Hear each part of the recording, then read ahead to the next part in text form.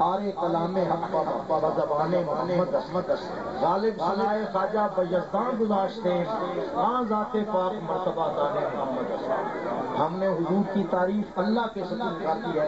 अल्लाह जानता है नबी पाक इस्लाम की कितनी शान है। उन्हीं हुजूर सैयद आलम सल्लल्लाहु की अजमतों में से एक आयत पुराने मजीद की मैंने तिलावत की है।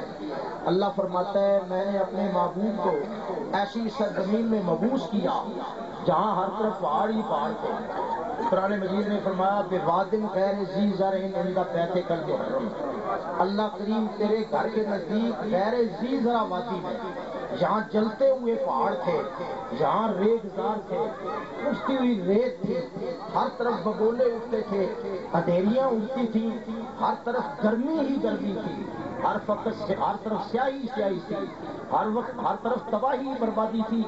न सिर्फ़ सारी तबाही थी, बल्कि अखलाक की तबाही आदात की तबाही, सीरत की तबाही, अकदार की तबाही, इंसानियत की तबाही, सारी दुनिया में बदतरीन जगह जो थी, अल्लाह ने अपने महबूब को वहाँ मबूस फरमा के दुनिया को बता दिया कि मेरे महबूब करीम सलाम अपने इलम में, अपनी तहजीब में, अपने अकदार में, अपने तमदन में अपने मुआशरत में किसी तहजीब के मोहताज नहीं है, बल्कि सारी कायनात की तहजीबें मोहताज है जनाब मोहम्मद मुस्तफ़ा।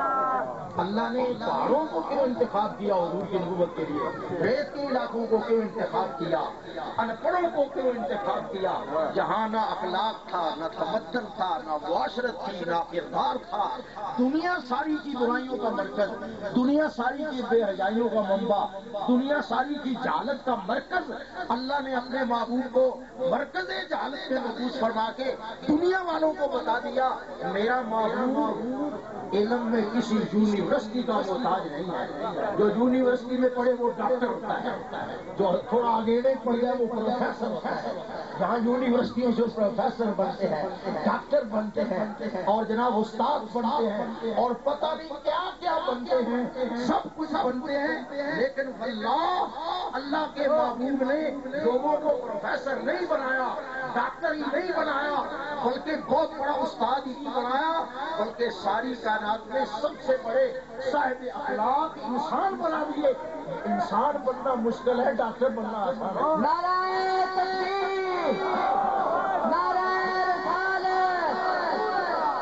एक पटिया डॉक्टर पे निकलते एक पटिया प्रोफेसर पे निकलते एक पटिया मौलवी पे निकलते एक पटिया उस्ताद पे निकलते अल्लाह के महबूब का कमाल ये है कि नबी करीम ने अपनी निगाहों से उन उम्मीद को अकदार के उन आला मुकाम को जाया जिनके खुदा के फरिश्ते भी जल्दी करते हैं अल्लाह ने फरमाया युवती मैंने अपने महबूब को भेजा है उनको पाक करते हैं। पढ़ा के नहीं सिखा के नहीं, अपनी निगाहों से पाक करते हैं।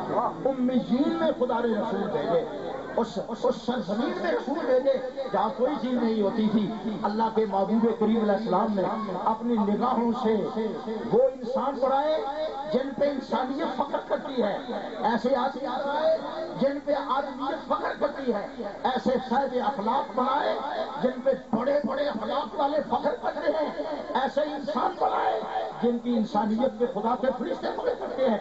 ये कमाल है मोहम्मद मुस्तफ़ा का युजक्की मोहम्मद किताब हजूर ने लोगों को ऐसे नहीं पढ़ाया हजूर इस्लाम ने अपने निगाहों से खुद न थे जो राह पर औरों के हाथी बन गए, वो क्या नज़र थी जिसने मुर्दों को मसीहा कर दिया? एक ऐसी सरजमीन पे अल्लाह ने अपना अब हमारे दरमियान और दूसरे लोगों के दरमियान फ़र्क क्या है? आप समझे, हम ये समझते हैं कि हुजूर सलाम अल्लाह के नबी बन के तशीफ लाए और अल्लाह ने फरमाया, हमने अपने महबूब को इसलिए भेजा है जो जक्की ये हजूर इनको पाक करे और दूसरी बात फरमाई, जो अल्लाह किताब अमल हिकमा, इनके, इनको किताब हिकमत की तालीम दे। तीन मकसद के लिए अल्लाह ने नबी भेजे। जो जक्की हिम हम कहने, कहते हैं, हजूर पाक करने के लिए तशरीफ़ लाए। बाबी कहता है, जिसका नाम मोहम्मद या अली है, वो कुछ नहीं कर सकता। हम कहते हैं, नबी इसलिए आए जो जक्की हिम वो कहते हैं कि नबी कुछ नहीं करते। नबी पाक नहीं करता। नबी पाकिजा नहीं बनाता। नबी इलम नहीं सिखाता। नबी आदाब नहीं सिखाता नबी अखलाक नहीं सिखाता नबी इंसानियत नहीं सिखाता। हम कहते हैं अल्लाह ने अपने महबूब को भेजा ही इसलिए था कि नापाक जो है उनको पाक करो जो बुरे हैं उनको नेक करो। जो बदमाश है उनको नेकोकार बनाओ। जो गैरत है उनको गैरतमंद बनाओ। जो बेहया है उनको हयादार बनाओ। जो झूठे हैं उनको सच्चे बनाओ। अल्लाह के महबूब ने सारी कायनात के ज़ाहिर से अपनी एक नज़र से अपने पापा को पापा को सुन्नी का ईमान ये हजूर जो सब की है, मैं हजूर पाक करते ये कहते हैं, हजूर है तो सही लेकिन पाक तो नहीं। एक बात, हमारे दरमियान और भाभीियों के दरमियान फ़र्क ये है। भाभी कहता है, नबी कुछ नहीं करते सुन्नी कहता है, नबी पाक करते हैं। अल्लाह कहता है, मेरे नबी पाक करते हैं। और अगली बात, हम कहते हैं, हुजूर पाक करते हैं। हुजूर ने पाक किए। कुछ लोग कहते हैं पाक करते तो है, लेकिन उनसे पाक हुआ कोई नहीं। अबू बकर सिद्दीक पाक नहीं हुए, उमर पाक नहीं हुए, उस्मान पाक नहीं हुए, अली पाक नहीं हुए, अहले बैत अतार पाक नहीं हुए, हुजूर की बीवियाँ पाक नहीं हुई, कोई पाक नहीं हुआ। अल्लाह नबी झूठ तोड़ते हो, बकवास करते हो, खुदा के नबी ने जिसने बिगाड़ डाली, अल्लाह के महबूब ने सर से लेके पाँव तक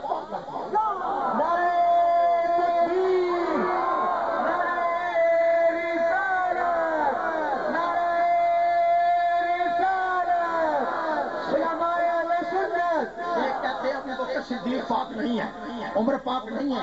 खुदा की कसम सुनी का ये ईमान नहीं। ये ईमान शिया का है। नबी पाक नहीं करते। सुन्नी का ईमान ये है, वो दानाए सुबुल हत में रुसल मौलाए गुब्बारे राह को बख्शा फरोगे जिसने गुब्बारे राह, फरोगे वादिए सीना अता कर दिया। वो थे हमारे नबी